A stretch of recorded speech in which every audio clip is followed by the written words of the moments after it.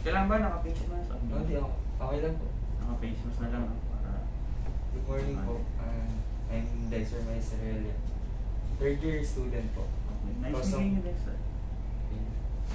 Customs Administration student po. And um, I'm here to ask you some question about your journey of being customs officer. And by the way, this interview is for my finance requirement to ano, tariff management po. Tariff management. May uh, sino bang professor mo sa tariff management? Si Sir Kim Binakulangan po. Kim. Bago lang din siya na faculty. Sige. Sir, first question po is, kindly introduce yourself po and how many years na po kayong working as a customs broker po? Um, first of all, I am Kenneth Pasco Escamilla. Do I have to look at the contract? Hindi naman. Not necessary. Ah, naman. Uh, yun. Status married and practicing customs broker for more than 5 years. Uh, to be exact, I think uh, it's about 8, 5 to 8 years na. No? Kasi nung nag-graduate ako sa PMI, then tapos nagkaroon, nakapasa ako ng board exam, hindi naman agad ako na-engage sa customs broker's profession. No? So, mahirap yung umpisa. So, dun sa mga umaasa na pagkatapos graduate, eh, meron na agad, at the same time, nakapasa ng board exam is makakapasok na agad dun sa field. Huwag tayong mag-expect ng ganun kasi baka mamaya bumagsak yung expectation natin.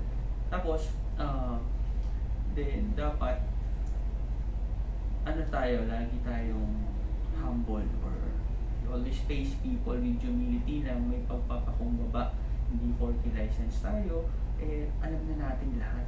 Remember, hindi tayo qual we are not yet qualified. We have the qualification requirement, but it doesn't necessarily mean na we already qualified as customs brokers.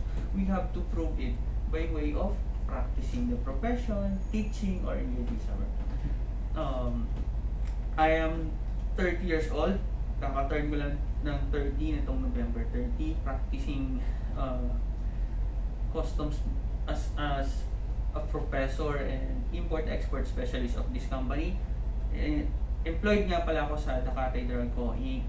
Then marami din silang sister company. Ako rin yung nag-handle ng import-export specialist at the same time. Then nasabi ko na in-house customs broker din na.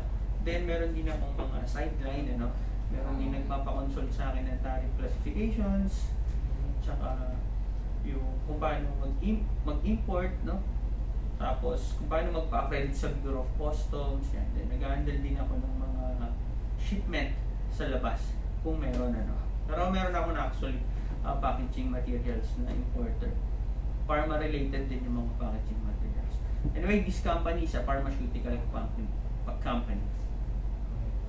Thank you, sir. Yung second question po, as a customs broker po, ano po yung na- na-experience nyo as a customs broker recently po?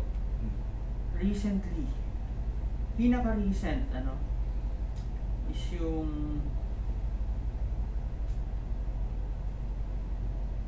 experience. What kind of experience ba ang tinutukoy Dito dyan? po, ano, sa, dito sa pharmaceutical po. Ah, dito sa pharmaceutical. Dito naman sa pharma company, masasabi ko na mahirap siya. Anyway, wala naman talagang madali. No? Pagka gusto mo ng madali is halos parang walang learning pagka ganun. So, mas maganda na mahirap yung experience. Mahirap siya in a way of compliance. Kasi when we talk about drugs, ano yan eh, ang kinoconsider natin dyan is yung health or yung health or effect dun sa tao na magko-consume ng drugs. So, anong nagiging role ng isang customs broker or pagdating sa importation? No? Pag sinabi kasing importation, not necessarily ang customs broker na involved agad. No? Pagdating sa importation, ang nag-uusap pa lang dyan is yung buyer and seller. So, labas pa ang broker doon. Unless yung mismong broker ang may-ari ng company. So, sa sa akin, sabi sa experience ko dito naman, employed ako sa pharma company. Hindi ako yung owner, pero ako rin yung import specialist. Ako rin yung nag-import ng goods. No? Ako yung nagpe-place ng order. So, yung function ng purchasing or yung acquisition ng goods sa ibang bansa, sa origin, makikipag-usap sa supplier, this is part of the supply chain yan, wala pa, wala pa tayo sa brokerage ha. Ah, mahalaga.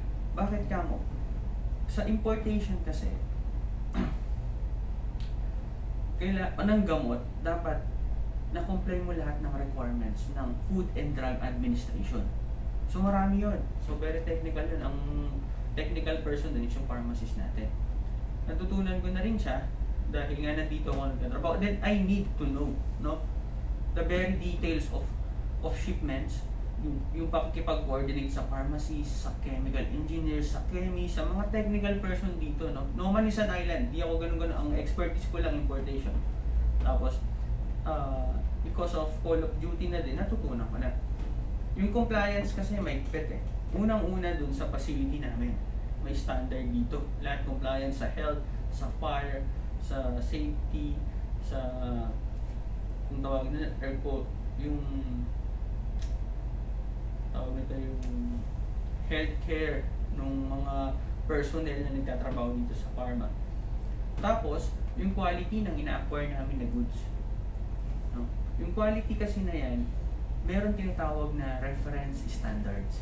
So, ibig sabihin, yun ang batayan ng mga gamot na ini-import namin.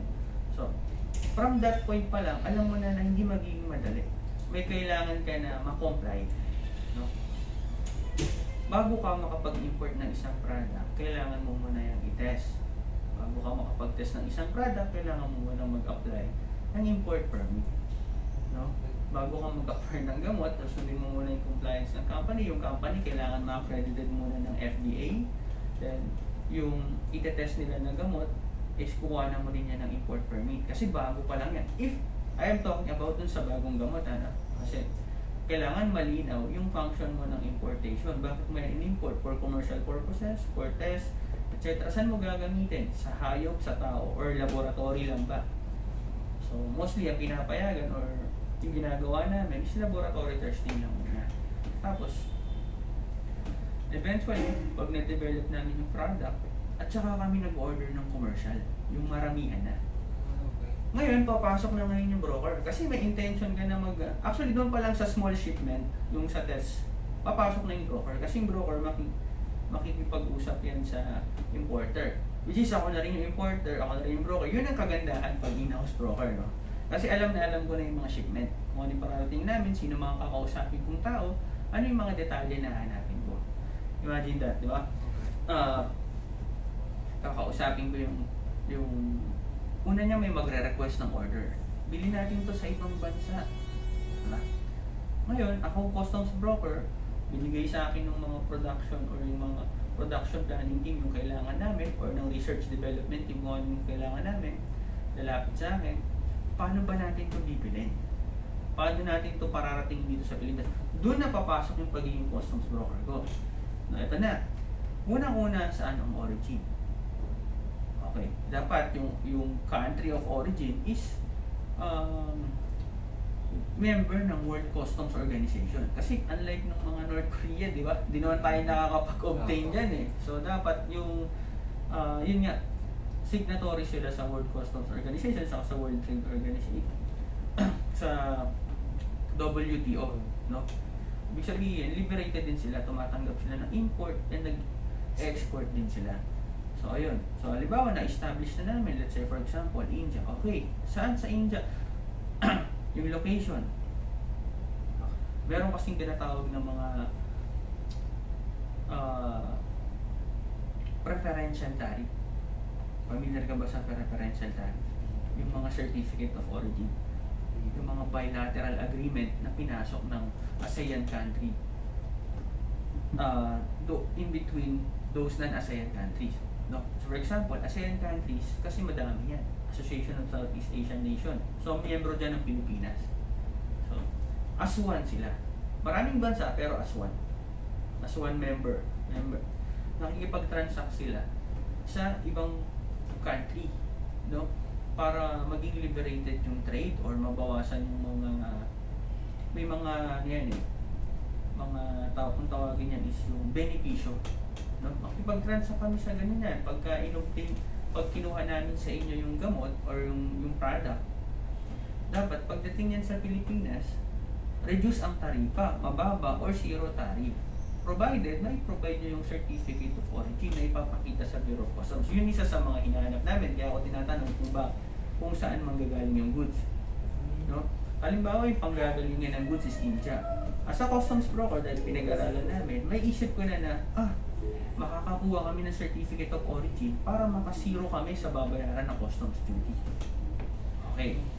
So, ibig sabihin, pwede. Idadagdag ko yon sa mga requirements na hihingin ko sa supplier pag nag-place kami ng order. Okay. Hing, hingi ako ng certificate of origin. Tapos, aalamin namin kung anong terms of shipment. Dito na papasok yung international commercial terms, yung INCO terms. Natin mo na okay. Kasi yung presyo ng goods, magbabase kung ano yung terms. Siyempre, kung ang binayaran mo lang is cost of goods, mas mura yon kumpara dun sa binayaran mo yung pamasahe at saka insurance ng goods. Tama? Doon na, doon na papasok, halimbawa, yung babayaran namin na $100 for sample. Anong coverage na? Coverage lang ba nun yung cost of goods? Kasama na yung inland transportation, yung insurance, at saka yung pamasahe sa main carrier, kung air or sea shipment siya. Yun. Ngayon, doon na, as a customs broker, kukumpitin ko na siya gaano yung magano kalaki yung difference na may kasamang pamasahe sa walang kasamang pamasahe. Ngayon, ano magiging comparison ko? No? Kasi dapat may pagbabanggaan ako eh para masabi ko na mataas yan or mababa yung offer na quotation. Una, kung meron kayong kung meron ng previous supplier ng same product, ikukumpara mo yung presyo ng supplier na to, yung in-offer ng supplier na to versus doon sa previous supplier nyo. Or kung wala ka pang previous supplier dahil bago pa lang yung supplier, ang ikukumpara mo naman doon is yung cost of freight. Kung makakatipid ka ba, kung i-include yung pamasahe, or hindi kasama, ikaw na lang hahanap ng forwarder or carrier na mag-ship or kukuha. No, isipin mo, sir, paano tayo kukuha ng forwarder? Eh, wala naman tayong kilala forwarder abroad. Di ba? Sino pipigat nun? Siyempre, yung mga forwarder natin dito sa Pilipinas, I am talking about international freight forwarder or non-vessel operating common carrier, yung mga cargo consolidator, doon tayo makipag-negotiate. Tapos, sila naman ang makipag-negotiate sa counterpart nila abroad. Yung counterpart nila abroad, kukontakin naman yung supplier mo. Tapos yung supplier mo, inform mo lang sila sa details nung forwarder abroad. Kasi ganito yan, kakausapin ko tong forwarder. Anong pangalan ng agent mo sa abroad? Ibibigay sa'yo ngayon. Pag binigay sa'yo ngayon, ibibigay mo sa supplier. Ngayon, yung nasa abroad na forwarder, kukontakin yun.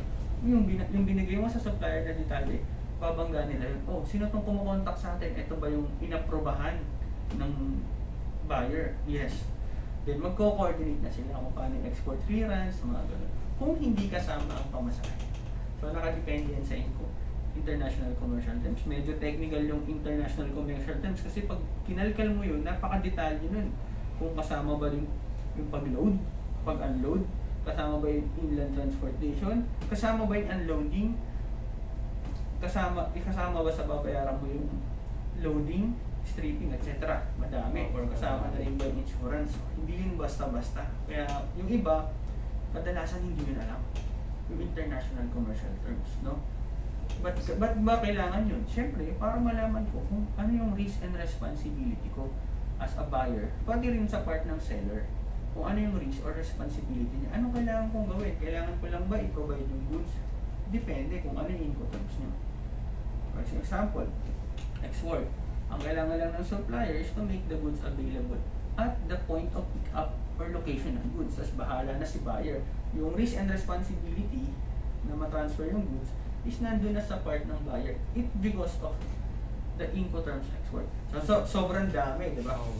so yun, doon na papasok. Imagine that, nag-order pa lang ako pero ini certificate of origin, alamin ko kung kung available yung preferential tariff dun sa bansa na panggagalingan ng goods.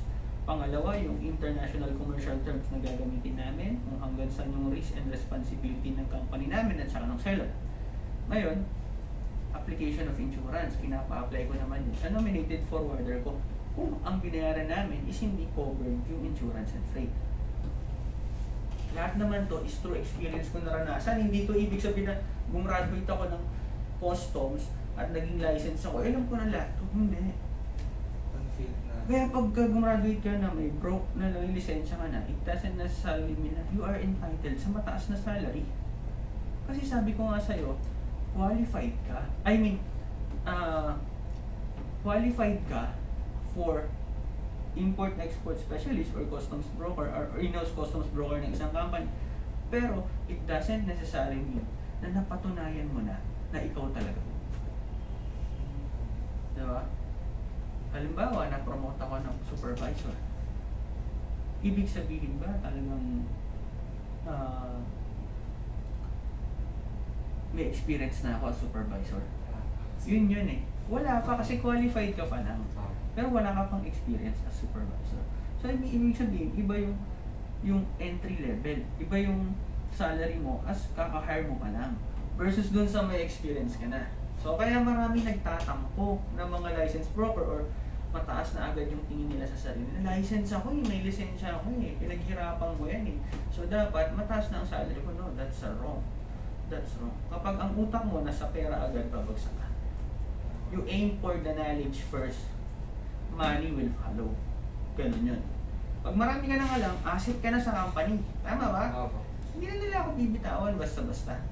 Kasi ang dami kong alam. Alam ko rin ang um, negative nila, pagkukulang nila na ginagawang was ng paraan sa Bureau of Customs. No? Alam ko rin mga disadvantage nila. Alam ko kung paano sila makakatipid. So, so, in a legal way. ah. Legal way. No, hindi na, kasi ito namang company namin, talagang straight to, willing to pay, very submissive kami. Wala kami tinatago kasi ang straight na company, siya ang nagtatagal. Handa na yan. Kaya kami nasa 45 years or more than na kami in sa business. Kasi, legit kami. Hindi kami basta mapapasaran ng government or whatsoever, mga. May mga SOP kami, Standard Operating Procedures. No? Yun. Pinaka-recent na experience ko sa Bureau of Customs, no? is yung tariff classification. Which is honestly, na-fine ako ng 5,000. 5,000 because of misclassification. Ang naging ang naging lapses ko nun is lack of reference. Lack of reference. Yun ang pinaka nakita ko. Tsaka, kasi, why lack of reference? Ano? Ibig sabihin, nakulangan ako ng source kung saan kukunin yung information. So I decided, which is mali, pwede to gawin, pero mali. Mali, hindi pa yun enough. Kadalasan sinasabi ng mga declarant, may previous shipment na kasi kami yan. Kaya dapat, kung ano yung previous shipment, ganun din ang classification ng goods. Kung ano yung, kung paano siya kinlassify, kung paano siya kinlassify nung previous sa previous shipment niya, ngayon, eh, pareho lang. Pagka ki- kinlassify siya ngayon, is dapat pareho lang. Which is kung titignan mo, tama nga naman. Ibig sabihin, nagkaroon na siya ng history. Pumasok, okay na sa customs. Di ba? Nakalabas, nakapagbawa. Nakapaglabas na ako ng aqua flash. Ang ginamit kong tariff classification is this, blah blah blah. Ngayon, maglalabas ulit ako ng ganito. Ang naging reference ko is yung previous. In the first place, kung titignan mo tama. Pero kapag ang examiner, examiner mo mabusis eh. Marami pa kasi hin- hindi naman parehong shipment, pero hindi parehas na customs examiner or parehong customs appraiser ang titingin. Kasi ano yan eh, ah, sa NAIA kasi, random yan, hindi pare-parehas ang Oh. examiner na titingin. So depende kung magaling ang examiner, mabusise, tsaka talagang alam mo na, marami rin siyang reference. Doon ako natalo. Doon sa isa lang naman na shipment na yun. Kasi unang-una hindi ako technical doon.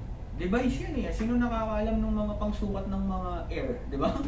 air ba? Yung blow ng hangin, yung velocity. Ah, Kasi pinag-aralan ba natin sa customs yun? Hindi, di ba?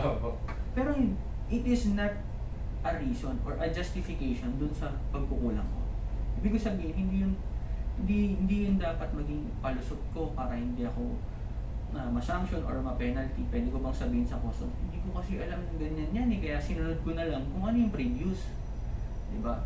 Yun na lang yung pinaka naging matindi kong justification. Pero, meron pang isa eh. Una, kung alam mo yung parating na shipment is hindi ka sigurado sa classification, pwede kang magpa-advance tariff ruling.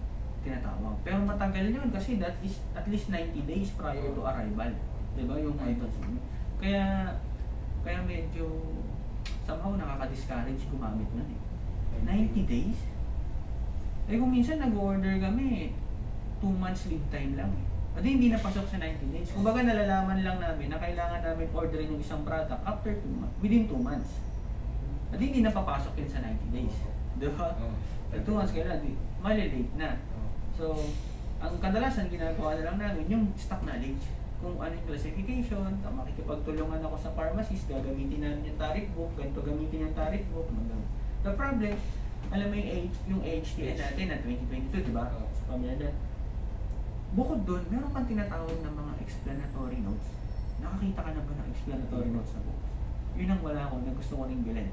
Pwede ko yung bilhin sa sa chamber, CC, ah CCBI, Chamber Commerce sa ibang bansa. Pero alam ko hindi ang basis ng tariff commission.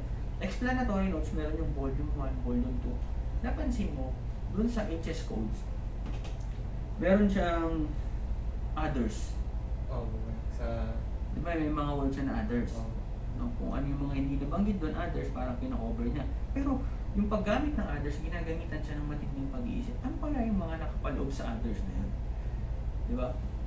Yung iba, playing safe, others na lang binabagsak. Which is, the problem is, paano mo i-justify yung others? Anong reference mo? Kasi yan yan eh. Pwede ka pang questionin dyan ng, ng examiner. Bakit dito mo nilagay? Actually, yung nag-question sa akin, appraiser na, tapos na ako sa examiner. Appraiser na, kumbaga parang double checking na lang siya eh, pangalawa. Pero yun na, nakita niya pa. So, naka-others ako.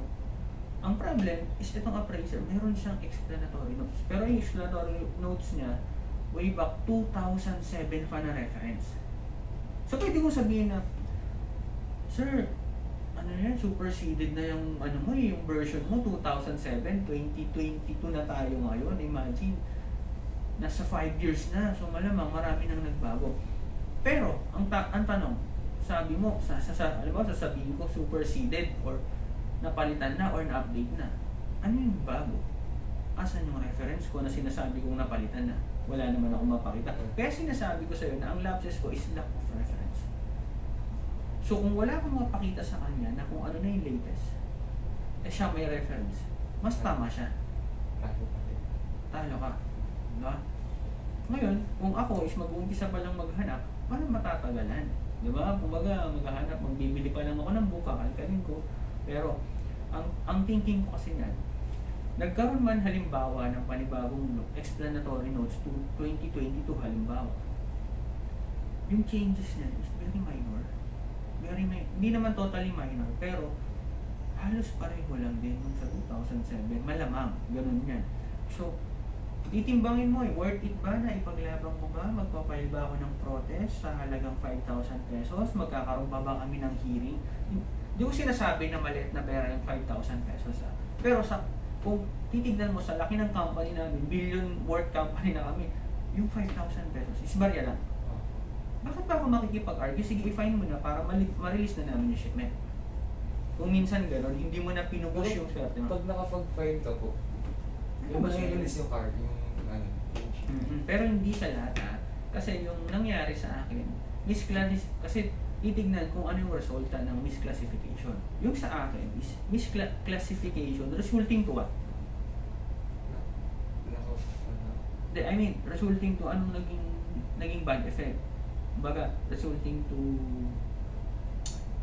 discrepancy in the collection of duties. Malaki ba yung discrepancy? Bawa, nung dilipat sa taripa na ganito, naging 5% ba? Bawa, diniglar ko, zero. Tapos, nung yung duty as found, meron na ba kayong ganyung computation? Yung duty as found is, know, yung duty rate as found, let's say for example, 5% equivalent to 100% of duties and taxes. Meron akong tinakasan na duties na ganitong amount. Ganun ba yung naging resulta? Pag ganun ang naging resulta, ibang usapan yun. Hindi lang fine ang abutin mo. May surcharge ka pa. May surcharge pa yun. Pwede ka pang i-recommend for suspension. Kasi the more than 30% na difference is parang kung, kung tignan yan sa batas is intentional, sinadya mo. Yung sa akin na misclassification, nalipat lang siya ng HS code. I mean, nalipat lang siya ng subheading, pero zero rate pa rin. So, ibig sabihin, walang nagbago sa collection. Walang nadagdag or nabawas. Wala. Diba? Ibig sabihin, uh, misclassification resulting to error. Error lang. So, kaya pinafine ka lang ng 5,000. Ganun sila ka-perfectionist. Hindi lang yun, ah. Hindi, hindi mo na pwedeng baguhin. Kumbaga, wala namang nawala sa government doon sa error mo. Pero hindi mo na pwedeng baguhin. Hindi ka na pwedeng magpa-cancel ng entry, tapos babaguhin ko na lang, itatama ko. Total, wala namang nawala sa government. Pero ipa-fine ka na nila ng 5,000 pesos. What if ang pinirmahan mo lang is napakababang value? Can you imagine? Tapos ang nakolekta mo lang na brokerage fee is nasa 1.3 or 1.7. Nagkaroon ka ng error na 5,000. Reasonable yung fine or not? Di ba? Napaka-perfectionist nila na parang bawal kahit yung mga error sa mga halimbawa nalagay mong net weight 500 dapat net weight is 50 lang nakasobrahan ka ng zero fine na yon Ah, ganun ka perfectionist ka na ng 5,000 can you imagine that? Mas ka- kahit sobrang late ng shipment mo. yes. Worth it?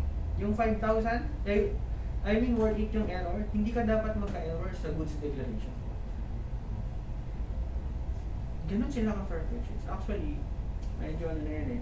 Pag na-engage ka na sa profession, nakikita mo sa Customs Brokers Forum, pinagtatalunan yan, sino ba gumawa ng batas na yan, ng memorandum na yan, ba't ang laki-laki ng fine, hindi naman reasonable yung error, no?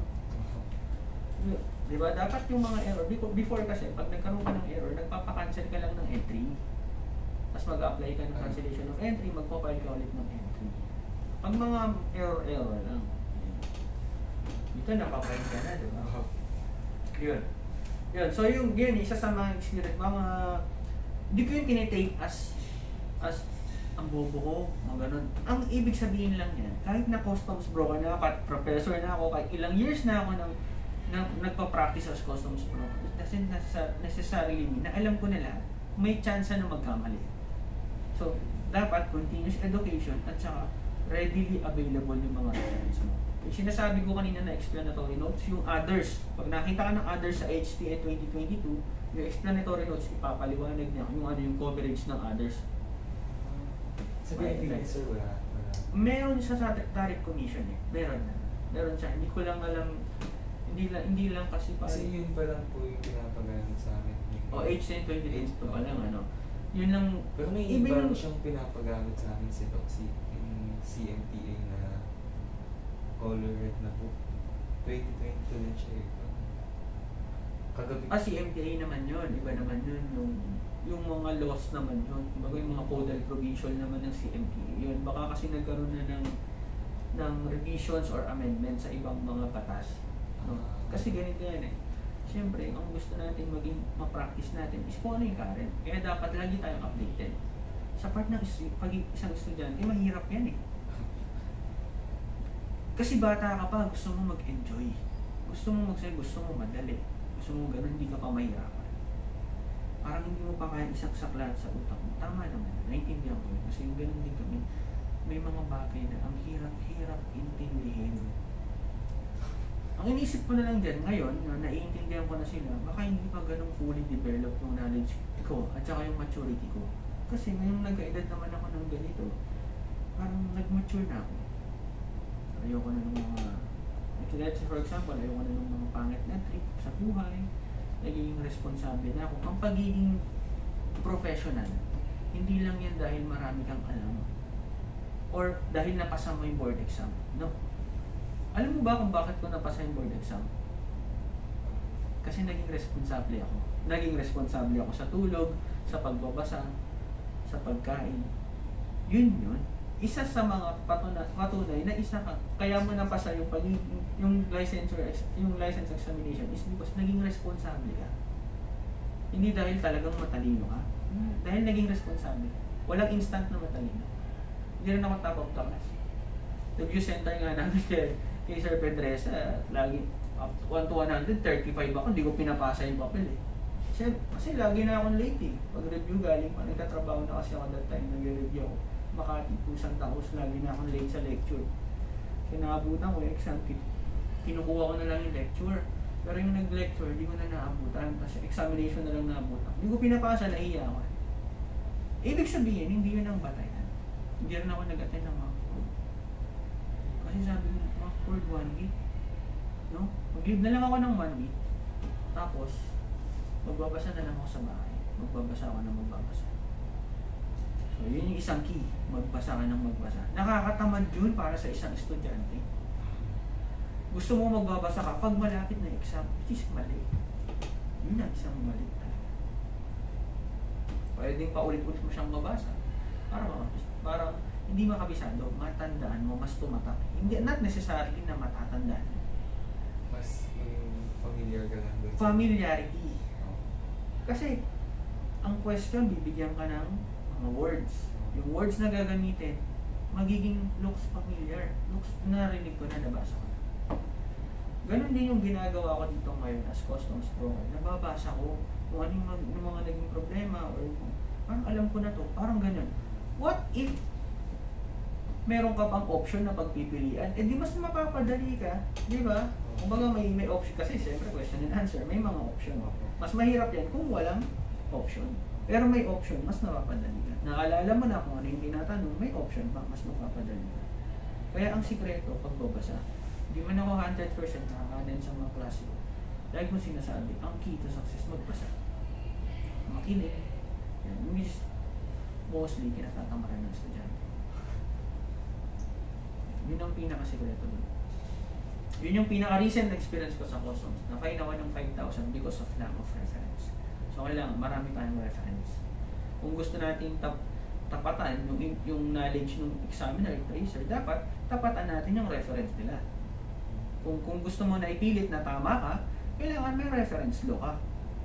Dapat may may sa- Mag-provide ka ng reference law o references na tama yung sinasabi mo. Eh dahil nag- nag-provide siya ng reference, hindi ko matapatan ng latest or ng updated or pinakatamang reference. I admit, I am wrong.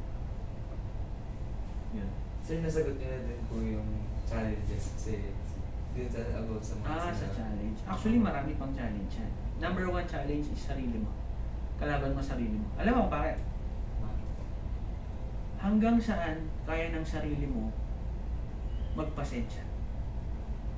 Hanggang saan kaya ng sarili mo mapagod, ma-stress? Hanggang saan ang kaya ng utak mo ma-stress?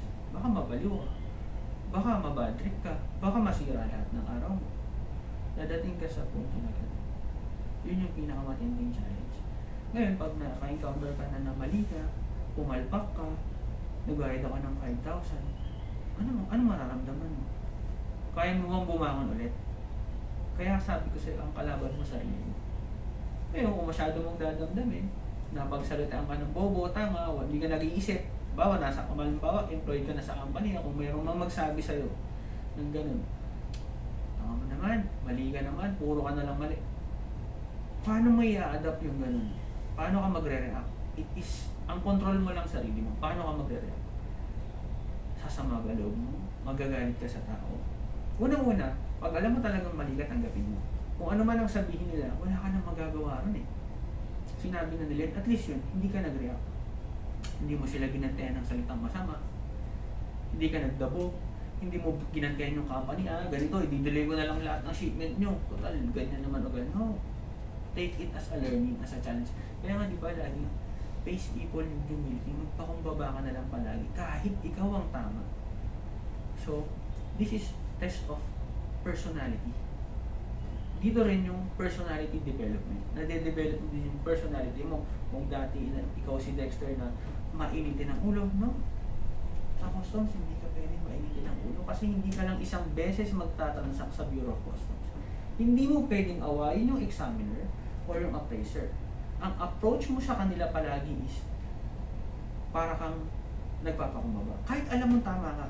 Alam mo, halimbawa, tama ako, may reference ako, ano? Alam ko na mali siya. Alam ko na sasabihin ko sa kanya na para ma, ma- matalo siya sa, sa, sa debate natin. Paano mo sasabihin? It's a way of how you deliver your message. No? Kung makaka-offend ka ba sa damdamin ng iba, hindi mo gustong ma-offend ang damdamin ng examiner. Kasi, hindi pa tayo fully automated. kaya, kahit tama ka, kaya niya pa rin i-delay yung shipment mo. Ganon din yung appraiser. Okay? So, dapat, halimbawa, ikaw yung examiner, Sir, di po ba ito yung ano, dapat sundin natin? Kasi ito po yung bago ngayon eh, na reference eh. Napakita mo sa akin. Ganun ang pag-approach, hindi yung, Sir, mali ka. O, doon pa lang, pangit na, ma-open ka na eh, di ba? Masasaktan ka na agad yung ego mo. Tapos narinig pa ng ibang tao. Imagine that. How hurtful. Di ba? Sir, di po ba ganito? As much as possible, pabulong. Yung hindi siya mapapahiya kahit alam mo na, ito ganito, tama sir, ito kasi refer, ito na kasi yung bago. Ah, okay, okay, okay. Tapos kung ano man sasabihin niya na defense niya or yung justification niya, tanggapin mo lang as long as itatama niya na or i-accept niya na. Pag in-accept niya na na mali siya or in-accept niya na yung recommendation mo, hindi ibig siya sabihin, huwag na agad tataas yung tingin mo sa sarili mo. Ang isipin mo na lang is, yes, achievement. Sa'yo mo na yan, achievement. Hindi yung ipopost mo pa sa Facebook, parang iba blind item mo pa, di ba? Yung mga ganun eh, para lang ma- makapagyabang ng accomplishment nila, di ba? Pinakamaganda yung sarilinin mo na lang, tapos nung thank you ka kay Lord. Lord, thank you, nalagpasan ko to. Achievement sa akin. May learning ka, may learning din siya. Huwag kang mali, acceptance. Ganun lang, give and take. Huwag kang magpapatalo sa emosyon. Huwag na huwag kang magpapatalo sa emosyon. Dadating ka dyan, manggigigil ka na, kailangan na kailangan namin ilabas to, mapapahiya ako sa kliyente, mapapahiya. Hindi namin mamimit yung delivery date. Walang mangyayari kung mag-aalala ka, magagalit ka, hindi yan makakatulong, hindi rin yan makakatulis. Mag-follow up ka. Gawin mo yung gawin mo yung kayang kayang gawin ng isang tao, ng isang cautious person, yung isang maingat na tao, yung tao na hindi nakakasakit ng damdamin, yung tao na hindi magagalit, hindi magmumura, hindi papatay, hindi ganun. Ano bang kaya mong gawin? Ano ba? Pameriendahin mo kaya to? Hindi naman masama yan, di ba? No? O kaya kaibiganin ko to. Di? Maraming way. Maraming ginagawa sa'yo. Maraming way. Maraming way para para ma-please. Ma-please mo, makuha mo yung loob ng kausap mo. At saka, kailangan mo rin aralin yung kung tawagin yan, art of tempo. May art of tempo rin. Pag nakita mo yung yung gusto mong kausapin na tao, eh parang stress na stress or parang magla-lunch time na. Di ba wrong timing yan? Oo. Yung mga ganyan. Yun, yung mga ganun mga challenges. Hindi, di ba tinuturo sa school? Nababasa mo sa libro yan, yung, yung nararamdaman ng iba. Hindi, di ba?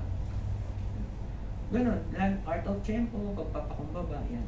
Patience. Yan, kalaban mo sarili mo. Kaya ba ng sarili mo yan? Kaya ba ng damdamin mo yan? Eh baka mamaya kasi, hindi. Hindi pwede yan. Ako si Dexter, cool kid ako sa kwarto eh. Matapang ako sa room namin, mga nano, napapasunod sa akin, napapabilib sa akin. Hindi pwedeng gaganyan-ganyan sa akin yung examiner na yan. Eh, top 1 ako sa klase. Eh, top notcher ako sa board exam, eh, gaganyan-ganyan sa akin yan. Eh, baka mamaya, kaya lang naging examiner yan, pinasok lang yan, eh, malakas lang ba? Nag-iisip, nag-too much thinking ka na pag ganun. Huwag mo titignan ng tao ng mali. Baka ganito siya, baka huwag kang mag-advance. Huwag mo iisipin na mataas ka sa kanya. Mali yun. Hmm? Yun yung mga challenges sa personal, sa sarili mo. Kontrolin mo yung sarili mo na ganyan. Humingi ka ng tawad agad pag nag-isip ka ng masama sa kanya. Siguro kaya ako dinidelay na to kasi inuna nito yung may bayad eh. No, bigyan mo ng magandang dahilan. Baka marami lang talagang ginagawa. Ngayon, kung talaga naman ang sikreto is bigyan mo ng pampadulas, kung lang ha, kung kung lang, bigyan mo na. Baka yun naman talagang kulang mo. Di ba? Di ba? Di ba? Ah, tulad na ngayon, magpapasko naman. Pero as much as possible, kung kaya natin hindi magbigay, eh, yung para gawin nila yung trabaho nila na walang walang personal na interest. Kasi pagka halimbawa yung examiner nakatanggap ng 5,000 sa'yo, halimbawa 5,000 nilagay mo, galante ka eh. 5,000 para tumakbo agad yung dokumento. Nagiging basis na ng examiner yun para gawin yung trabaho. Ano bang basis ko sa trabaho ko para mapabilis yung trabaho? Alam ko na, kailangan magbayad mo na to. Which is hindi naman talaga. Ang trabaho nila, trade facilitation at saka yung protection of uh, government revenues. Yan. Trade facilitation at saka to make sure na lahat is compliant. Yun ang pinakatrabaho nila. Hindi nila hindi hindi hindi ang hindi nila dapat maging basihan kung gaano kalaki yung binigay mo para lang gawin nila yung trabaho nila. Kasi trabaho nila yung public servant sila eh. No? ina-assume ko pa rin, naniniwala pa rin ako na merong kahit anong tingin nila sa Bureau of Customs sa mga examiner, placer niya na mukhang pera, or meron pa rin, maniwala ka sa akin, meron, meron, hindi tumatanggap. Ginagawa pa rin yung trabaho. Hindi nakikipag-usap. Dapat ang examiner makikipag-usap sa'yo kung may kailangan sa'yo. Kulang ka ng ganitong dokumento. Or may nakita na may mali, may kulang ka ganyan. Eh may tanong or hinihingan ka ng paglilinaw. No? Yun yung ikaw, yun yung examiner ang nag-approach sa'yo. Pero kapag ikaw ang nag-approach sa examiner, ikaw ang may kailangan. Red flag, kung tawagin. Red flag yan, bakit nilalapitan ako nito? Siguro may problema to. Diba? Yun agad mentality ng examiner. Mas i-double check niya ngayon yung papel mo. Pero kung hindi mo pinapollow up yan, pwedeng hindi ka naman nagmamadali or wala ka naman talaga problema. No choice siya. Nagagawin niya na lang yan. Gagawin na lang yan. Hindi nga lang niya ganun kabilis, pero hindi naman niya yan pwedeng patagalin ng sobrang tagal. Siya naman ang marereklamo. Kung wala kang panlagay, straight lang yun ano, hindi, hindi ka naglagay, mga 1 to 2 days. Or yung second day, malalabas mo na yung shipment mo. Worst is yung third, third days na. Diba? Sige, next question. Masyadong ang dami ko sinasabi, no? Magiging ganito ka rin someday because of your knowledge na gusto mong i-share. Oh, okay. Doon namin naman ano, natututunan. Basta ah, walang makakaalam na may alam ka kapag hindi mo share yung knowledge mo, kapag madamot ka. Diba? Oo. Huwag kang maniwala sinasabi nilang, hindi, ang board exam, survival of the fittest. Yung, kung hindi mo dapat i-share yung nalalaman mo kasi baka malaman niya ng iba, tapos sila naman hindi sinishare yung nalalaman nila, tapos sila lang tapos That's selfishness. May nagbabantay sa atin sa taas kung paano tayo, kung paano natin, kasi yung, yung katalinuhan, gift of God yan. eh. Kung paano mo i-manage yung regalo sa'yo. Kung marami ka mong nalalaman, mas madali, i-share mo. Yung next po is yung, ano po, ano naman po yung mga lesson na natutunan niyo since nag-work na po kayo? This profession as a customs broker, up to now po. Since nung nag-work kayo ng cus- as a customs broker, up to now po. Yung mga naging, Yun, number one talaga na natutunan ko is yung patience. Marami kasing stress talaga itong profession na to. So sabi nila, malaki yung pera dito pag nag-custom sa broker. Malaki nga, pero hindi sa'yo. hindi sa'yo kasi yung shipment na yan. Katulad, ka- halimbawa kami, may machine kami. $620,000. How much is that? $620,000. Sa akin ba yun? Hindi naman. Ipirma lang ako dun. O, di ba? Hindi naman. Bibigyan ako ng panggastos. Which is yun yung, yun yung gagamitin ko para shipment. Actually, yung profession na to, bibigyan ka pa ng kaba sa dibdib. Totoo yun. Bibigyan ka ng kaba. na po. Sige nga, pinagtiwala sa'yo ng company yung ganong kalaking shipment na mali ka ng declaration. Alam ba kung ano yung impact mo? Ang laki nun, makakasuhan yung company, pwede silang masuspend, di ba? Sige nga, makakatulog ka ba sa isang buong araw nun na meron kang maling na deklara? O kaya napag-fine ka, na mali mo, o kaya na mali ng delivery, or o na mali ka ng bodega kasi dinideklara mo rin kung nasan yung location ng goods mo. Eh. Na mali ka ng location, o di ba? Sira na agad yung isang buong araw, sayang na agad. Pero siyempre, hindi naman too late para ayusin. Andun pa rin yung dapat positive ka. Ayusin mo. Yung isa, pinaka natutunan ko dito is how to manage your stress.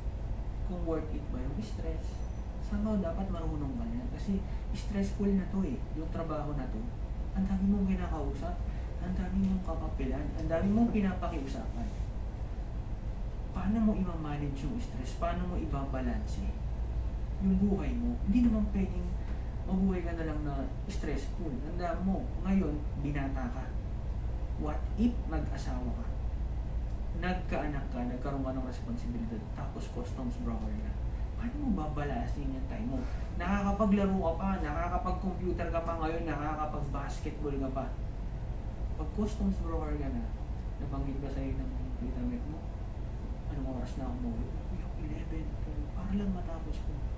Kasi bakit? Pag nagdeklara ako, triple check eh. Alam mo yung triple check, kailangan tama lahat. Piniprint ko pa yan. Parang talagang malaman tama yung mga dineklara kong detalye. Paulit-ulit. Kasi nga alam ko, maling detalye, equivalent sa fine. Or kung mas malaki pa yung naging declaration mo na mali or misclassification mo, pwede bang masuspend yung company mo, ma-hold kayo, ma-alert kayo, na- Imagine yung responsibility. Masisira mo yung credibility ng company because of baka hindi mo lang naayos. Yun yung responsibility. Isa lang yun ha, sa responsibility sa trabaho yun. Kaya nga sabi ko, what if pamilyado ka na, may responsibility ka. Plus, halimbawa kung meron ka pang family problem. Ang hirap, di ba? So, hindi to ano, hindi to easy go lucky na trabaho. Para lang to sa mga matatatag na loob. Matatatag at saka yung willing pang matuto ng matuto. Yung hindi sumusuko. Huwag kang susuko kung magkaroon ka man ng mali. Nakakadis mo yun, sobrang nakaka-down or hindi ka mamit, may hindi ka mamit na schedule na delivery kasi nasabi mo na sa Huwag kang magko-commit basta-basta. Diba, magko-commit ka. Kailan madi-deliver yan, Ken? Tawag sa akin dito, Ken. Madi-deliver po ito ngayong araw. Wag kang magko-commit. Kahit na straight na straight kami, ha? Nagbabayad kami ng malaking duties and taxes. Nagbibigay kami ng risk money, yun. Kung lagay, mga ganun. Hindi mo malalabas ng isang araw yan. Hindi mo kontrolado yun. Ang lagi mo lang sasabihin, ma'am, possible po, malabas to. Magkakaroon ka lang ng ah, estimation, pero hindi ka magbibigay ng exact details. Halimbawa, oh, ma'am, okay na po, may final assessment na, babayaran. Final assessment na, babayaran na lang duties and taxes. Nag-down yung system. Eh sabi mo, madideliver. Eh. Control mo ba yun? Because there are instances or circumstances na beyond your control. Kaya huwag kang magko-commit. 100%. Pwede mo sabihin, ma'am, 90% kasi meron na tayong final assessment. Malalabas to today. Huwag lang po, meron laging tinatawag na reservations. Function. Huwag lang po magkakaroon ng system shutdown. Yan is beyond our control. Or, hindi po nagre-reflect yung payment natin sa Bureau of Customs. Kasi may mga ganyang issues. O, ibig sabihin, di ba? Paano malalabas yun? Yun naman ang disadvantage ng mga automation. Yung mga systems error. System system down yan.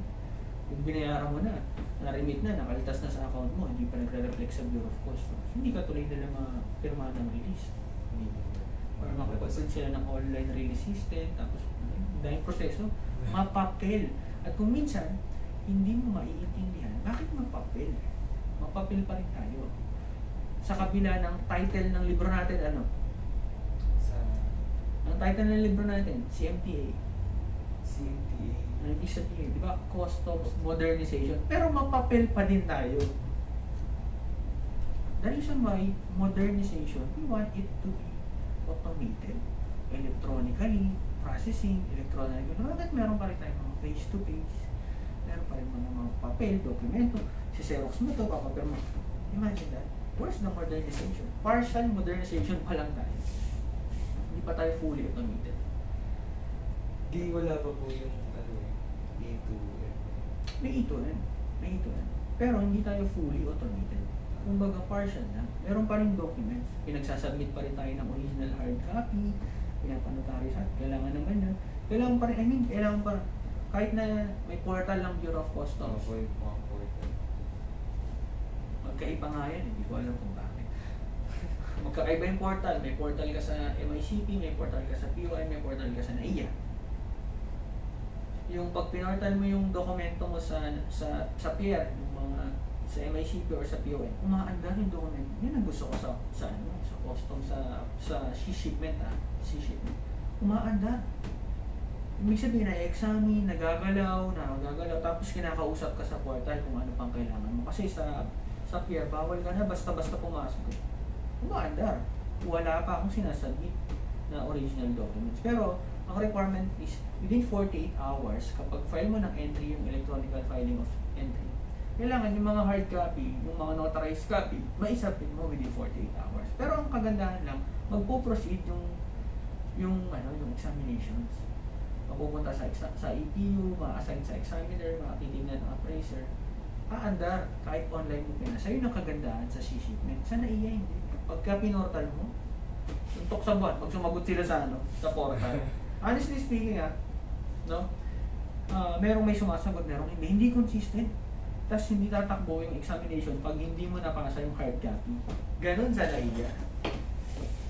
Di ba? Anong purpose ngayon ng online? Hmm. Wala. Ang pasa mo pala yung hard copy. ano. Oo. Nare-recap, tawagin ka ng examiner. O, pa, asan yung ano ganito? Dali mo na ito dun sa task force. Dali mo pa rin. May ano mano pa rin. Sir, yung next question is yung, ano po? Can you Ay na, ah, linawin ko lang. Ang pinaka-learning dito ah, is yung management ng stress. Okay po. No? Sa customs broker profession, stressful siya. You should know how to manage your stress kasi your your mental health, health your physical, yung mismong health mo ang ma-affect mo pag hindi mo na-manage siya. At hindi ka rin makakapag-perform ng maayos kapag sobra ka ng stress, kulang ka sa tulog, di mo naalagaan yung katawan mo, no? Hindi ka rin magpa-function. Mga mali-mali ka ng entry. Huwag kang mag-entry na kulang ka sa tulog. Sigurado marami kang mistake. Huwag kang magde-declare ng Kailangan talaga responsible. Yes, hindi lang yun sa talino. Dapat responsible. Talino ka, hindi mo magamit ng maayos. Kasi nga, because of your health. Di ba? Kaya nga mapapansin mo sa Facebook, anong hiling? Lord, good health lang sa mata. Because good health is equivalent to productivity. Pag good health ka, marami kang magagawa na tama. Yung next question is, give me an explanation and ideas about the importance of customs appraisal and assessment po. Since nasa field of work na po. Yes. Customs appraisal assessment. assessment. Kasi, ah, yung question, importance. Oo. importance. Bakit nga ba mahalaga na may, may assessment pa, Oo. may appraisal pa? Imagine this. Walang appraiser, walang assessment na nangyayari sa dokumento. Malaya nakakalabas lahat. Ano mangyayari? Binalik ko sa internet natin, ano mangyayari? Wala na check-check. Lahat ng illegal pasok. One, and is the most common. Maraming magdi-misdeklara, misclassification. Ano mangyayari sa government? Classificate, yung collection ng revenues babagsak. Eh di ba bakit ba tayo kay- nagko-collect ng revenues? Ng taxes? For the, ano, sa bansa. Sa, Ang masabi yung roadworks, pagmasahod sa mga pulis para mag-keep yung peace and order. Although, sabihin na naman natin. Kasi pag negative, ito pa isa, dapat hindi ka negative thinking. No? Eh, siya naman mapupunta yung tax natin, kinokorap lang yan. O, ano, ito, pampasahod sa pulis. Eh, yung mga pulis, eh, nagbebenta rin ng droga, mga ganun. Hindi lang, ang wala natin. Negative thinker na. No? Pampasahod sa mga urado natin, sa justices, sa government, etc. Pampasahod. Ibig sabihin nun, ano ka eh, nagger, ang babae, yung fault finder. Wala ka nang nakitang tama. Parang gano'n, di ba? Wala ka nang nakitang tama. Tapos, ang nakikita mo, lubok-lubok naman yung kalsada. Paano mo nasabing yan ginagamit? Di ba? No. Yung mga public hospital natin, o di ba? Ang daming problema, ang daming pinagagamitan ng revenue. Sino nagme-maintain yan? Pag nagko-complain ka sa police, di ba, sumasaklolo agad, or kaya sa barangay, yan, dyan ginagamit yung mga pasahod natin. Hindi naman yan, merong bulok, merong mga corrupt, hindi naman lahat. Ang mahalaga, nagagamit pa rin natin. Imagine kung walang wala, walang walang revenue or bagsak yung collection. Wala. Hospital. paano yun? Lalo magiging bulok ang Pilipinas. Di ba? Hindi natin makukon, hindi natin talaga absolutely matatanggal ang corruption. Mami-minimize lang siya. Hindi siya matatanggal. Sabi ko na sa'yo, mamamatay na ako. Kahit ikaw, kahit yung magiging anak mo, hindi mo matatanggal ang corruption. Kasi ang corruption bilang nangyayari sa gobyerno. Kahit sa mga private company nangyayari. Okay? So, yun, kung ba tayo kumuku na kailangan ng assessment, muna para maging tama yung collection of revenues, yung pinoprotektahan natin, tapos ma-assure, ina-assess kung kumpleto ba yung mga requirements na comply ba. No? Kasi syempre, pagka ayan is, let's say for example, consumption, ibig sabihin, i-distribute, i-distribute yan dito sa Pilipinas. Like for example, kami, gamot, gagawin ko ng experience na ah. Pag yung product na binibend, no, in-import namin, is walang certi certificate of product registration. Hindi siya registered. Yung finished product, I'm talking about finished product. Yun lang kasi may mga certificate of product registration. Mga pagkain, gamot, supplements na may CPR, Certificate Product Registration. Unless, may tinatawag na Compassionate Special Permit.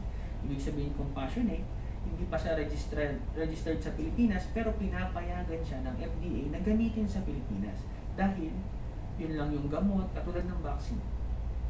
Mga, yung vaccine, COVID yung, vaccine. Oo. Yung mga remdesivir at tableta, yung nag-COVID, di ba? Walang CPR yan. Ang ini-issue lang ng FDA dyan is Compassionate Special Permit. Ibig sabihin, pinayagan siya kahit wala pa siyang ganung study dito sa Pilipinas na gamitin kasi sa ibang bansa internationally nare-recognize naman siya na nakakagamot at nakakatulong para mapigilan yung pagkalat ng ng ng virus no? So yun yung isa sa chinecheck ito bang vaccine na to is binigyan ng FDA ng compassionate special permit. Ito bang product na to is may certificate of product registration sa FDA to make sure na this is safe. This is safe. Anong number two pag ininom to ng ng kapwa ko Pilipino di ba? Sana yun ang yung tinitignan ng mga examiner appraiser. Yung ganun sila. Kaya sila bid is because concerned sila sa Pilipinas sa collection ng revenue tapos na safe yung product. Yan. Yan isa sa maging tapos yung kung yung bang importer is accredited. Siyempre, kung papayagan naman nila na kung sino-sino na lang pwedeng makapag-import, hindi naman compliance, or hindi pala accredited. Sa bagay ngayon naman, hindi ka naman talaga makakapag-import kung hindi ka accredited ng Bureau of Customs. Except doon sa ano ah, sa mga yung mga personal, yung mga sa tao lang, yung mga one time, or yung mga informal entry. No? Except doon. Pero yung mga business or mga commercial purposes, kailangan niya accredited ng customs. Sa- Kailangan malaman ng customs kung sino yung mga may-ari niyan. Para alam nila kung sino sasampahan ng kaso pagka nagkaroon ng aberya. Sa assessment yun, una pinaprotektahan natin yung ilagay na natin number one, yung safety ng Pilipinas. Pagpasok niyan dito, yung sa mga gagamit niyan, pangalawa, yung yung revenues na makukolekta dapat tama. Tapos ano pa importance ng assessment? Yung compliance nga ng company. Tapos, ang ginagawa kasi ng appraiser para silang double checking. Pagkatapos mo sa examiner, nakita na ng examiner yung goods, na-examine, ito na yung mga findings, naglalagay yan ng findings sa likod eh. I-checkin nyo ng appraiser. Check na appraiser kung tama. Parang, yun nga, parang double checking ginagawa niya.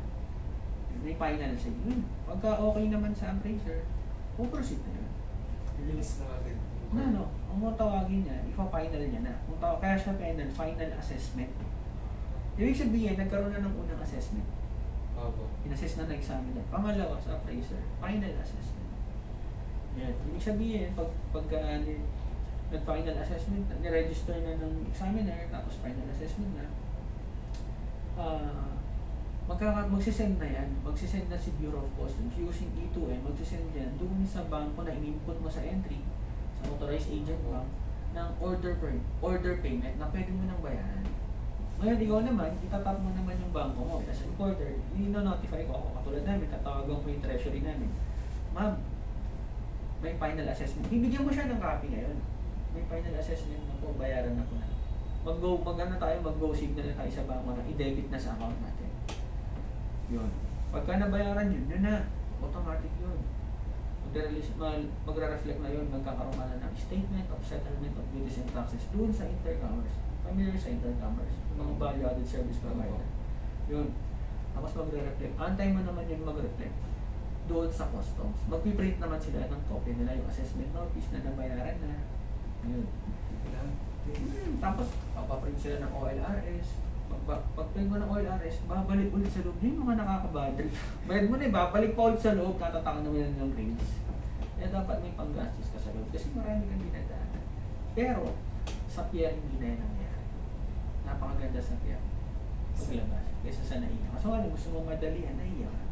Pag may mga product sensitive na hindi pwede sa matagal na biyahe, naiya ka. Or gusto mo matanggap agad, mag-examine agad, or mga samples, naiya ka. Yun.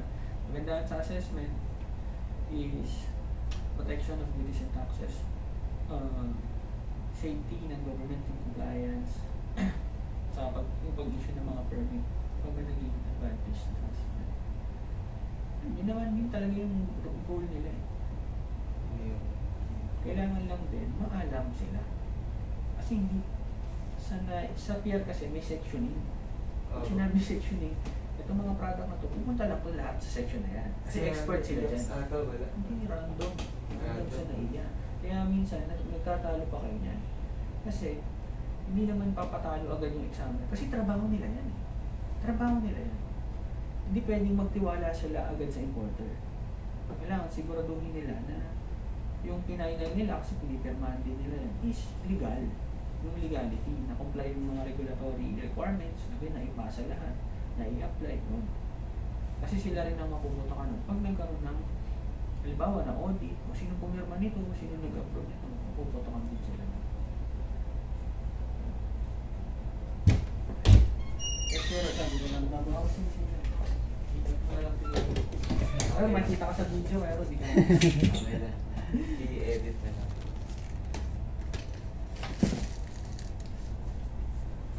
Kasi sa ano na lang yun, ano, sa pader na lang. Tsaka mapapla... Eh, yun pa pala. Protect local industry. Kasama sila doon. No? Kasi sa assessment, check mo ako nag-comply, ano? Or ah, sa examination, malaman mo yung mga misdeclaration, whatsoever. Assess mo, oh, mali pala yung dineklara versus dun sa makita. Bakit protect yung local industry? Bakit mamaya dumagsa yung ganitong product tapos lumabas sa market, alabas yan, eventually bibenta yan. Maapektuhan yung mga local producers natin. Number one example, yung mga sibuyas. Ah, di ba? Na-plan tayo ngayon ng mga mga puting sibuyas. no? Ngayon, yung mga production ng mga ano, kasi mas mura yun eh, kumpara dun sa pula. Kung wala nang kapangkilik ng pula, ang mangyayari, masisiraan. Madi-discourage yung mga local producers natin. O kaya naman, halimbawa, nakalusot yung illegal na pulang sibuyas. Kalaban yan yung mga local natin. Siyempre, mas ibibenta ng mura to. Yung mga imported. Hindi natatangkiligin to. Malulugi yung mga local producers. Mani-discourage yung mga yung mga farmers, yung agriculture. Hindi na sila gagawa. Eventually, wala nang gagawa locally, puro imported na. Mas magtataas na ngayon yung presyo kasi wala nang kalaban. Dahil mo, pagka walang kalaban, tapos mataas ang demand, tataas yung presyo ng ano, supply. Yung isa, yung mga local industry, pinoprotektahan din. Revenue, protection of local industry, uh, tsaka yung safety ng mga gagamit. Yan, tumutulong. Tumutulong lang, tumutulong yung assessment. Pero not 100% na sila lang. Kasi meron pa tayong mga customs police na kasama natin. Actually, uh, consolidated effort, hindi lang naman sa assessment. Pati yung mga frontliner natin sa mga CCC, kasama yun sila. Sa lahat. Yes, sir. Thank you. Yung last na po na question, sir, yung ano po yung may bibigay niyo pong advice sa mga future cover for them to continue or purs- pursuing the, this profession po? Kaya madalas ko itong sinasabi sa mga sa mga estudyante ko sa PMA. Na ngayon kasi lumawak na yung coverage ng customs broker. Before kasi parang nakapokus kami sa ano eh, sa dun sa profession lang namin. Customs broker, sa forwarding, no, na-engage sa forwarding services. Kung titignan mo yan, part lang yan ng supply chain. No? Yung ginagawa ko ngayon dito sa company, this is actually siguro mga 50% to 75% ng supply chain. Kasi sa pag-order, sa pag-transport, sa pag-clear sa cost, wala pa nga 50% actually, wala pa palang 50% yung ginagawa ko. Imagine yung ginagawa ko, kasama na doon yung pagiging customs broker profession. Ano? Bakit ko sinasabi ito? Na ituloy no? Ngayon kasi, supply chain, kino-cover niya na lahat. Sa procurement, may tinatalakay din sa manufacturing, kung paano mo pinoprocess yung mga product. Overall eh, kung paano mo maghahanap ka ng source, ita-transfer mo, warehousing, tapos i-import mo, customs clearance, distribution, sale to market, ibibenta mo ngayon sa market. Kung may reklamo sa market, ganun din sa returns. Tapos planning ulit, kumpleto na. Kung mapapansin mo, isa lang dun yung part ng broker, customs releasing lang, tsaka kung export. Yun lang yung part. Pero ngayon, ang laki na ng coverage niya. And lahat, lahat ng business na nai-engage sa importation, actually kahit sa domestic distribution, papasok tayo eh. Nung pumatok ang pandemic, isa tayo sa pinaka-importanting profession, logistics. Yung mga magko-continue sa paglabas ng mga shipment, pati, pati mga unhampered, di ba? Yung pagpasok ng mga importation, hindi yan napigilan, unhampered, ibig sabihin tuloy-tuloy. Kasama tayo dun. Ibig sabihin, um, significant tayo sa industry. Significant talaga tayo. Tsaka, yung knowledge na malalaman natin after natin matapos yung kurso, broad, very broad yung application niya. Very broad. Pharma, kahit anong industry, imagine, na nag-import. Gaano kadami yung mga nag-import na yan. Huwag kayong madi-discourage na na, na, na, baka wala na. Meron kasi ano eh, wala namang, hindi magamit yung lisensya nila. No? No. Kailangan mo lang i-push yung diskarte mo. Diskarte ka lang. Huwag mong i-push na maging license. Oh, yun na pumipirma ka agad. Even me, hindi ako nag-start kahit na ano na ako, na customs broker na hindi naman ako nag-start na customs broker na pumipirma agad. Nagsimula ako as sales coordinator. Hanggang matawa, meron talagang in God's perfect time. Dito sa company na to. Sales coordinator, ang layo nun sa pag customs broker. Imagine that. Nagpapasok kami ng mga benta ng mga ng mga rin namin, ng mga ahente namin. Sa mga hospital, nagpapasok kami. Habang nagre-review ako that time sa cloud. Nung nag- nakapasa ako ng... Pero bago pala ako nag-apply dito, nag-apply na ako sa DHL. Nag-apply ako sa Panel Kayhin Corporation, mga forwarding company. Kasi nga, ang thinking ko, ilang kung pumasok kung hindi sa Bureau of Customs, sa brokerage firm, sa mga forwarding company. Kasi yan yung mga na-engage sa importation, exportation. No? Hindi pala. Pinakamaganda, maging empleyado ka ng isang company na nag import and export. Kung wala tong nag import and export, ba't kailangan ko ng broker? Bakit pa ako maghanap ng broker? Di wala rin sila. Di ba? Eventually, ang nangyari niyan, nakapasa ako. Pinagbutihan ko lang yung trabaho ko as sales coordinator. May nakapansin. May nakapansin. Na-recommend ako. Transfer ako sa office of the vice president. Nag-handle ng yung finances. Kasi yung office of the vice president namin, finance yun eh. Office of the vice president, finance and treasurer. VP finance and treasurer. Nag-handle ng mga expenses dito nga sa customs namin na, na next na ano ko, na-expose ako sa mga import namin. Hindi pa ako pumipirma, imagine that ha. Nagagamit ko lang yung knowledge ko kasi nga, na, napunta na ako dun sa department na naghahawak ng mga customs papers. Custom, nakita ko na, ah, nag-import kami, na pag-aralan ko na eventually. Ngayon, hanggang sa nag-recommend na ako, ma'am, ganito gawin natin. Ma'am, yung mga ganyan, pag kumukuha tayo ng, ng mga supplies sa ganyang bansa, pwede tayo maka-zero duty. In-open up ko na yung certificate of origin kasi yung- hindi pa nila alam that time eh na may certificate of origin kasi zero yung duties mo or malilesen up to 1 yung mga 5% nagiging 1 or yung 5 nagiging 0 imagine ang laking tipid nun di ba? Napatunayan ko na na may alam ako. Ngayon sumunod naman pinadala ako dito sa planta kailangan ako ng plant manager tinulungan ko naman tong galing akong head office eh, finished product yung tinatrabaho ko ngayon Napunta ako sa raw materials, tinuro ko, binigyan ako, in-empower ako ng boss ko. Sige, gawin mo kanta. Naisip ko ngayon na magpa-accredit para magamit yung lisensya ko. Pinagamit ko yung lisensya ko nang walang bayad.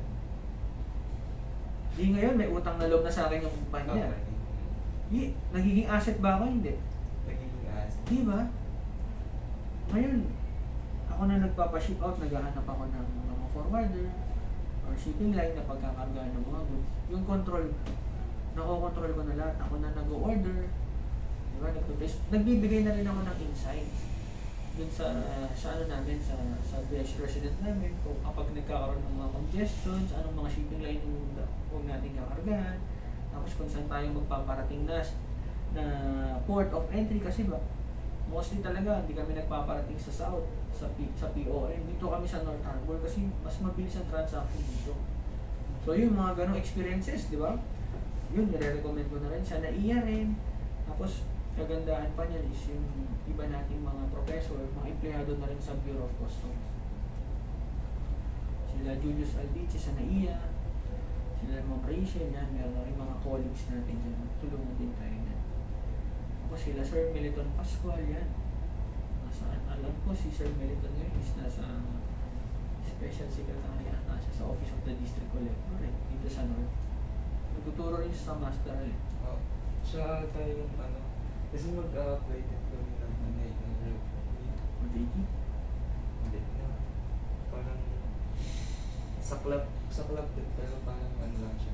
Parang, ano siya bang tawag ta- Parang mag-tutor sila sa amin. Parang may, yung mga yung Tutorial? dresser Ah, hindi ko lang alam kung alam ko yung si Sir Mel hindi nagtututorial yun eh. Ah, kasi sobrang busy rin niya pero ayun nga para sa mga customs broker hindi lang naman to ano sa mga nag-aaral. Uh, huwag natin isipin yung pipirma magkakapera magiging empleyado ng customs maraming pera sa customs magkokora. Mas, actually mas malaking pera yung nandito hindi na pera pangit pag-usapan yung pera. Mas malawak ang magiging knowledge mo pag na-employ ka or naging empleyado ka sa isang company na import-export. Unang-una mapag-aaralan mo yung tulad yan, makaka, meron, nakakausap ako ng isang chemical engineer, ng mechanical engineer, ng pharmacist, ng chemist. Kung sino-sinong profession na nakakausap ko dito, natututunan ko. Nagagamit ko yun pag nag-classify ako. Yung mga chemicals, yung mga machines namin, saan magpo-fall, nagagamit ko. At saka yung mga requirements na kino-comply pag nag-import ka ng ganitong electronics, pag nag-import ka ng product, ng mga dangerous drugs, no, ng mga controlled chemicals yan, natutunan ko na. Kasi sa kanila ko nalalaman yung compliance. Di ba? Eh kung magtrabaho ka sa brokerage company, ipo-provide lang sa'yo ng kliyente mo yung mga document. Hindi ko nilalangan, hindi naman pangit. Maganda rin experience sa brokerage company. Pero kung pag nagtatrabaho ka sa brokerage firm, anong gagawin yan? Ibibigay sa'yo lahat ng dokumento. Ipo-process mo sa Bureau of Customs. Unless yung importer hindi alam, nagkonsulta sa'yo kung paano mag-apply ng import permit. Kadalasan naman kasi ng isang business, dapat is alam na nila kung paano mag-apply ng import permit. Kasi nga, goods nila yun. Dapat hindi nila yun iasa sa ibang hindi nila ipasa, iasa yun sa third party. Halimbawa, gusto kong mag-import ng gamot, ah, may broker naman yan, nalang pag-applyin ko ng ano, ng import permit. May alam na yan, no, hindi alam agad ng broker din. Ang pinaka-the best na mag-apply ng import permit is yung user. Kung sino yung importer, siya ang mag-apply ng import permit. Bakit? Pag pumunta yan sa isang regulatory agency, magtatanong yan eh. Magtatanong yung regulatory agency, ay kulang kayo ng ganito, kulang pa dapat ganito. Pag yun ba is binigay sa broker, alam ng broker sasagot. Ipapasa niya rin yan sa importer, hinahanap ko yung ganito.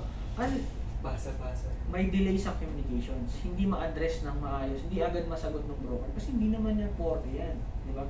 Sino mag-a-apply sa FDA, sa FDA ng permit broker? Kahit na alam ng broker yung process eh, first step, second step. Paano yung technicality, yung ibig sabihin ng mga nas, nan, nan, nandun sa dokumento? Ang nakakalam yung pharmacist. So, ang, ang gagawin lang yan is i-assist lang yan ng broker kung talagang hindi alam. Pero mas maganda kung sino yung user or yung importer, siya ang mag-apply ng import permit, direct communication dun sa regulatory agency para alam din ng isasagot ng applicant, ng importer, yung mga tanong sa regulatory. Direct. Direct siya nasasagot. Walang delay sa communication at saka walang vagueness, hindi malabo, malinaw lahat ng conversation. Ngayon may import permit na kami, tapos kumbaga, yung broker i-advise niya lang, ma'am, bago po kayo mag-import niyan, kailangan meron po kayong ganito import permit, meron kayong commercial invoice, packing list, i-advise lang ng broker. No, para hindi po kayo magka-problema sa customs. Pero yung magko-comply pa rin yung, yung importer, ipapasa niya lang. Ngayon, ipapasa lang sa broker, tsaka ipaprocess ng broker. May growth, wala. Sa part ng broker. Kasi puro lang siya. Growth siguro yun sa customs clearance. Pero kapag in-house customs broker ka sa isang company, di ba, application sa compliance, katulad ginagawa ko pag order ng micro, hindi lang customs brokerage ang alam kong gawin eh. More than that, air and sea, na kumbaga nalaro ko na nga eh. Baga, ang hindi ko na lang na-master yung ano eh, tabs booking, wala pa ako niya. Pero actually, trabaho yan ng tracker. Pero pwede kong gawin yan as customs broker kung mag-business ako ng tracking, pag-aaralan ko yung tabs booking. Diba? Pero yung pag-gate pass, alam ko na. Diba? Yung pag-gate pass para yung pag-gate pass mo pala is pwedeng gawin ng mismong importer. Imagine that. It's because natutunan ko na na madali lang pala pwedeng matutunan. The fact na marunong kang bumasa at umintindi, ibig sabihin, kaya mo matutunan yung mga bagay-bagay. Walang imposible. Marunong kang bumasa, umintindi, nasa sa'yo na yan. Nasa uh, perseverance mo, sa pagpupursige mo, at saka dedication mo. Kung talagang gusto mong matutunan isang bagay. Walang imposible. Hindi ko alam yan, Dex. Hindi ko alam yung yung yung pag-gate pass, kung paano yung proseso sa pier, paano lalabas yung container, hindi ko alam. Natutunan ko lang yun. Di ba? Nagtatanong ako eh. Di ba? Ang batang matanong, dahil lang marunong. Di ba? Tanong, tanong, ba't ako mahihiya? Di ba? Walang masakit. What you don't know won't, hurt you. Ang masakit lang yun is baka habang buhay mo nang hindi alam dahil hindi ka nagtatanong or baka dahil nahihiya ka. I-portion nyo lang, magtanong kayo ng magtanong. Kasi at least yun, curious ka eh. Pinapagana mo yung curiosity mo at saka yung imagination mo. Ano kaya nangyayari? Habang buhay mo na lang bang tanong sa isip mo? Dapat pakawalan mo yan, yung tanong na yan, isasagot sa'yo. At saka lalo ngayon, mas madali kasi may YouTube, magsisearch ka lang. Merong vlogger na nag-ano eh, kung paano mag-release sa enterprise, may ganun eh, may vlogger eh. So, search niya sa internet. Tapos, yung yung mga ibig sabihin ng mga mga definition of terms. Ang dali ngayon i-search, unlike before. Magpupunta kami ng library dahil di pa ganun katrend yung internet that time. So, mas madali. Pero hindi ko sinasabi, nagiging pressure kasi sa mga estudyante. eh. Pag sinabi ko na mas madali ngayon, di ba nape-pressure kayo? Lagi na lang sinasabi, mas madali na ngayon. Hindi. Wala naman talagang madali. Madali nga mag-search, pero ngayon, pag humawa ka ng internet, marami ring distraction. Before kami, hindi ganun kadami ang distraction. Sa part mo naman, maraming distraction. Ah, manonood na lang ako ng NBA. Ah, Di ba? May alt-tab ka eh, di ba? Yun naman ang challenge sa era nyo, maraming distractions. Masyadong maraming libangan na pwede mong gawin versus dun sa mag-aaral na lang kaya ako, hindi na boring, nakakapagod, na ang kalaban nyo ngayon, kahit na madali kayong makapag-search, ang kalaban nyo ngayon, distractions. Kapag distract ka ba, pag may nag-text, may video call, may nagaya, may ganun, game tayo, ganun. So, yun ang pinakakalaban nyo sa era ngayon. Kasi kami nun wala. Pagka gusto mong magbasa, magbasa ka. Walang text ng text or walang kaya-kaya ng game. Although may Dota na kami pero kailangan mo magrenta. Ganun. Hindi siya readily available unlike ngayon na merong Cellphone. cellphone, iPhone, iOS or readily accessible, di ba? Hindi ka makipaglaro. Yun yung sinasabi ko. Yun ang challenge niya. Distractions. Malimit mo yun kung kaya mong i-control yung mga distractions na yan habang nag-aaral ka, nagbabasa. Maganda. Habang bata. You po sa advice. Malilate ka sa ano, uh, malilate ka sa learning. Kapag di ka nagbasa, nag-start na mas magiging madali ang board exam kung marami ka nang nabasa. Hindi, not necessarily na matatandaan. Yung magcha-challenge sa'yo, talaga ba nagbasa ka? O sige, tatanungin ka ganun, specific. Tatanungin ka ng specific, o ano ibig sabihin ng ganyan? Hindi mo masasagot. May sasabihin, oh, wala rin palang kwenta, eh, nagbasa ka pa. Tama ba yan? Hindi mo matata... Sa board exam, wala namang magtatanong sa'yo ng specific eh. I mean, hindi ka tatanungin sa ganung paraan. Sa board exam, may babasahin ka na situations, na questions, pero bibigyan ka ng options. No? Yun ang huwag kang ano, ah, huwag ka rin magpa-distract sa mga sinasabi ng iba. Or huwag kang huwag kang basta mag-go with the flow. Kasi ito ginagawa nila, yun ang gagawin ko.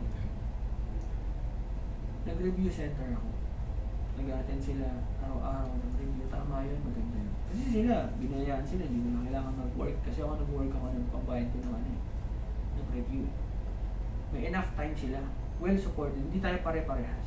Pero hindi ibig sabihin na hindi ko na kayang gawin or hindi ko magagawa yung kayang gawin or makakapasa ka, ako hindi kasi ganito. Or kaya magiging justification mo, ay kaya kasi ako hindi pumasa, wala kasi ako enough time. No, kaya ka hindi pumasa dahil sa sarili mo. Tama yun ha? Huwag mong isisisi sa iba. Kasi si ganito, ganyan. Kasi si ganito, ganito. Kasi si ganito, kaya hindi ako nakapasa. Bakit si ganito, ganito lang. Naging ano naman. No. Kalaban mo sa sarili mo. Huwag mong iasa sa iba ha? yung pagiging, pagiging customs broker. Dapat i-empower mo yung sarili. Kaya ko to. Pero naman kung mas matalino ka sa akin ngayon. Maraming ganun. Ang galing sa academic, dun sa actual, bumabagsak. Meron akong classmate na ganyan, kaya ako papasok sa. Kasi ano ko, masigasig sa review. Bumagsak. Parang nahiya tuloy ako sa kanya. Ako pa nahiya na pumasa. Kasi parang matalino naman siya, ba't hindi siya pumasa? Nahiya tuloy ako. Pero ako nag-take na ulit. Pero mabait naman yung friend ko na. Lagi ko pang kasama yun. Na review. Yun, huwag mo na mag-anak. Mahirap. Yung iba kaya pagsabay. Pero sabi ko sa'yo, hindi mo ma-enjoy. Ako na-enjoy ko yung pagiging binata ko. Wala akong responsibilidad. Nakakapahel pa siya ng ano, masagsagan. Cebu, Puro, sa Pagabang, tapos Baguio, paganyan-ganyan ako. Wala responsibilidad eh. Na-enjoy ko. Na-enjoy ko rin yun as, ano, mas yung respeto sa magulang na rin. Tama lang. Minsan, Gusto bang kumain? di, di no? Okay ka po. Baka nag... Okay na po. Sobrang dami mo sinasabi, ano? Oh, may pumapasok na katulad. Tsaka, di ba talaga yung mga sinasabi ng mga may experience sa field kesa sa by the book talaga. Yes, that's true. Pero alam mo, yung pagiging by the book, hindi rin yung masama. Wala namang masama, wala naman nagsasabing masama. Ah, nagagamit ko siya yung by the book kapag ah, medyo technical na yung usapan. Halimbawa, meron akong pinaglalaban, kinakalkal ko na yun sa libro. Pero ang end point niya, ang nagiging basehan pa rin natin, yung may reference yung book, CMTA. Yung CMTA, hindi mo yan pwedeng gamitin basta-basta na lalaban mo sa customs. Hahanapin mo yung memorandum na nagpapatupad. Yung CMTA, batas yan. Ngayon, sino nagpapatupad yan? Ang nagpapatupad yan, yung memorandum. Kaya pag nagbasa ka ng memorandum, makikita mo kung ano yung reference. Yung reference na ginamit sa memorandum, yun yung sa CMTA. Ibig sabihin, yung memorandum, siya yung implementing rules and regulations. Siya yung nagpapatupad ng batas. Yun ang magiging reference nyo ng kausap mo. Yung implementing rules and regulations. Not the CMTA itself. May nakalagay sa CMTA. Pero yung nakalagay sa CMTA, hindi yun magte-take effect kung walang implementing rules and regulation. Okay? Dapat, ang sundin is yung implementing rules and regulation. Ito yung batas sa CMTA. Pero hindi ibig sabihin na gagamitin na natin yan sa practice. Gagamitin na yan na susundan hindi. Kailangan muna ng implementing rules and regulation. Yun ang magiging reference. Pero hindi sa lahat ng oras ha. Kasi merong mga batas na hindi na kailangan ng implementing rules and regulation. Halimbawa, you know, maganda example na implementing rules and regulation na hindi kailangan ng IRR is yung malinaw naman, yung malinaw. Bawa, may bawa lang to ah. Ang exchange rate na susundin, nakalagay sa libro, is exchange rate na nilalabas every Friday. Di ba? Ipapaliwanag ko pa ba yun? In a separate memorandum. Pero actually may nagpaliwanag pa eh. Parang mas malinaw. May naglabas talaga ng memorandum para dun. Pero in actual, eh, in actual, hindi ko alam kung nakalagay sa CFTA yung exchange rate ah. Meron, merong law, may specific law sa CFTA, pero hindi yata in details. Kaya nilagyan ng memorandum para sinunod. Tapos yung every Friday ang mag apply na na exchange rates, yung ilalabas ng every Friday. Maging applicable yun sa sa shipment ng Saturday, Sunday hanggang next Friday. Ganun. Diba yung mga ganun? Samantalang ang nakalagay lang dun sa CNTA.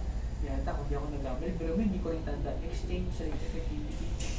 Yung sa date of arrival, kung gano'n dumating shipment yata. Opo, date, date of arrival lang sa next itong Friday ata yun.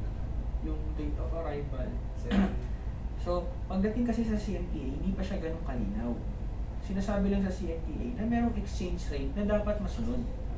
Pero, paano paano natin susundin yung batas na yun? Kaya naglabas ng memorandum agreement, ah, memorandum agreement, memorandum na implementing rules and regulation para isa katuparan nung nakalagay sa CMTA.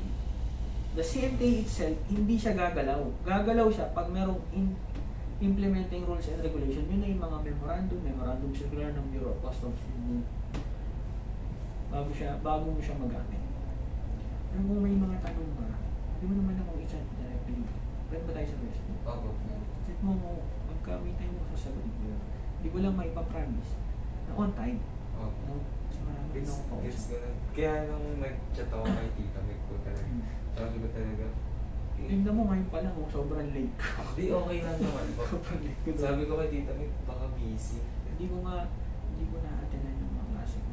Kaya gusto ko, pag nag-attend ako ng klase na, hindi ako nalilimitahan sa dalawang oras. Minsan, nahiya na lang ako sa next na professor. Pero marami pa akong gusto i-share. Hanggat may pagkakataon na kasi share ko.